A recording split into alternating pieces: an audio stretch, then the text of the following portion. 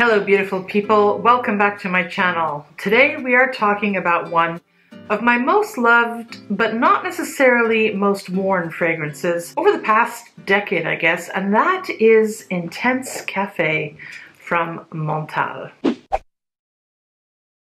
This is a fantastic gourmand oriental and it was really hyped up in the media when the house owner and perfumer Pierre Montale released it in 2013. So I'd be surprised if you're a perfume lover who has not at least heard of this.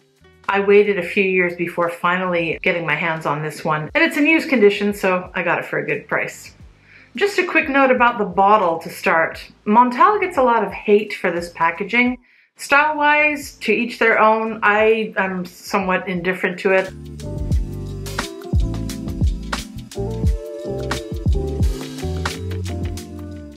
There's pluses and minuses with it. So first is this or ornamental branding here.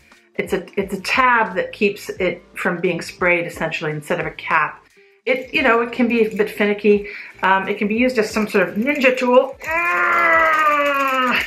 Oh, so yeah, that's a bit annoying, but I guess if you want to play Ninja, it's kind of fun. Also, of course, it's matte. You can't see through any of their bottles, but that will protect the liquid from light, which is one of the things that can make a perfume go off, which is hard to do, but it does happen. So that's a bit of a pain. You just have to swish it around and figure how much juice is left. But what I do really like about it is that it's very, very lightweight. So if you like to travel with a lot of liquid, this is your brand. On the other hand, the container being aluminum and having this kind of cap or closure thing that could come off means you might have a sort of accident in your suitcase whereby something squishes against it and then your whole suitcase is smelling of Montale, which is not necessarily what you might want. Yes, this particular scent being insanely strong means such an event would be um, potentially disastrous. I'm taking this cap off because it's flapping around here. Yeah, so Montale's Intense Cafe is a very powerful scent and I like it that way. It means you don't need to spray as much, hence good value for money. And although I'm certain some men might disagree, I find this is extremely unisex. It's also very warm and delicious and highly seductive, a gourmand lover's delight through and through. Mm. While there is a coffee note in here, don't expect to be whacked over the head with it or feel like you're sitting at a Starbucks. You might have to work hard to sniff it out. It's far from an espresso uh, coffee either. It's more of an Americano with lots and lots of milk. At its core, this is a vanillic rose perfume doused in musk and uh, a splash of amber. Yeah, here are the notes.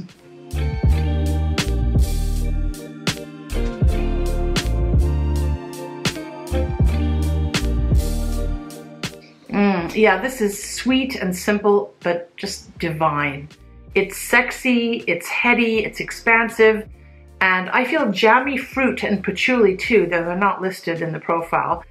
But sadly, I can't really pull this off in the workplace, even though it is potentially a daytime scent, because here in Japan, even at dusk, I kind of have to watch a bit about being too bold in public, I think. It's like the, the nail that sticks out gets hammered down type of situation, you know? Japan's scent culture is very different from, definitely from a lot of other countries. It's more demure, more subtle. And I can and do wear this at night, but not if there's not a lot of fresh air around me, and definitely not in warm weather. This is not a terribly polite fragrance. It's boldly beautiful and brash and all-consuming. When I wear this out, I want to give people around me the option to breathe. This can be suffocating, even though it's not sickly sweet or cloying. It's more of a scent I wear to entertain in close quarters, if uh, you know what I mean, even if it's just me by myself in said quarters. The vanilla note in here is not the most natural, and while it might also be too sweet for some people. As I said, I don't find it too sick, sickly sweet or cloying. Intense Cafe has some candied um, spices that are sprinkled over an exquisite, creamy, lactonic rose. But come to think of it, the rose isn't exactly natural smelling either. It's a, it's a rose clone. It's not your girl next door, natural beauty type of rose, but more of a dolled up siren from the other side of the tracks, you know? A lot more interesting. If you sniff hard, you can pick up the coffee grinds. I can just imagine myself sitting in front of a Parisian cafe, enjoying a high calorie treat with my mocha latte as I watch fashionable people proudly parade their colorful individuality in front of me for my enjoyment. Many finely dressed and impeccably groomed Arab men stroll by, leaving me in a faint cloud of smooth oud that floats over my coffee and cake or whatever sweet treat I'm consuming. I don't think there is any oud in Intense Cafe, but there is indeed a Middle Eastern vibe to it, and a lot of Montale scents do have that vibe. Now I only have a couple of fragrances from Montale at the moment, and I have two from Montale's sister company, which is Mancera. And I do like both brands, mostly because they each have a huge library of high performing fragrances meaning scents with decent longevity, projection, and sillage. And I think if you're going to spend a lot of money on a fragrance, it's really nice to have quality performance in addition to smelling fantastic. Now, of course, if you're looking for something that's more Western oriented, more like demure and, and um, gentle, these brands, Mancera and Montale, might not be for you. Generally speaking though, who would have guessed that roses dipped in latte would work so well, eh? This fragrance is a crowd pleaser for the most part. The likability factor is high if you're worried about putting people off. Just be careful not to overspray. Okay, I have to put the cap back on here.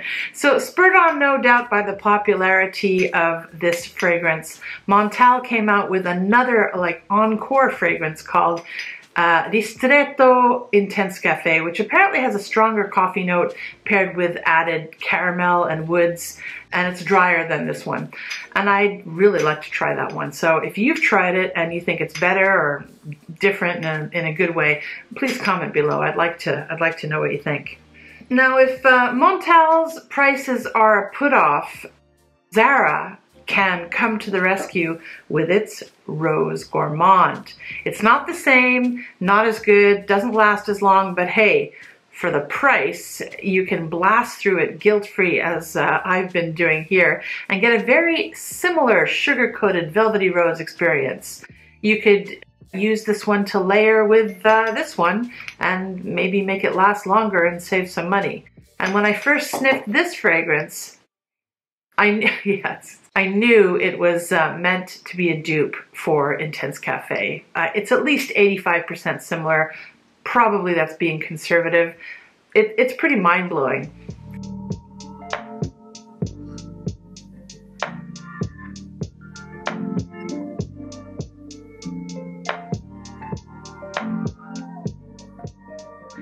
If budget is important to you, this one is around 35 US dollars as opposed to pushing 200 US dollars for this one.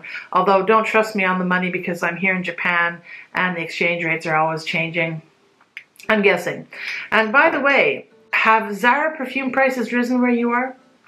This bottle, which holds I think 80 or 90 ml as opposed to 100 here. This is now just under 5,000 yen and last year it was 4,000 yen. So that's a big jump. Though I guess it's still relatively affordable compared to this. Anyway, there you go. That's my take on Intense Cafe. Uh, love it so much. Uh, but sorry, Montale, I think when I next run out, I might have to pivot full time to Zara as long as Zara's still offering it. Because I mean, I can get 3.5 bottles of this for the price of this, you know? Well, that's assuming I pay retail for Montale, which, as you know, my lovelies, I rarely do. I'm a thrifting queen. Okay, fellow fume heads, I will stop babbling now and uh, let you get on with your day or evening. I shall see you in the next one. So if you have any takes on Intense Cafe or Ristretto Intense Cafe and or Rose Gourmand, please comment below. I might not read what you write right away, but I do always look forward to reading your comments. So, yoroshiku! I'll uh, catch you in the next one. Scent Gourmand signing out. Bye-bye.